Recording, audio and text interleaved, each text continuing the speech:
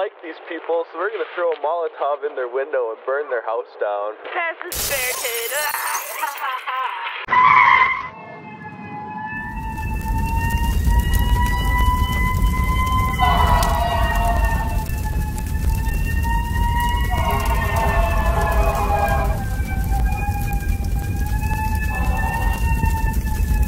We can't get to the fire. There's a barricade interfering. Going to do?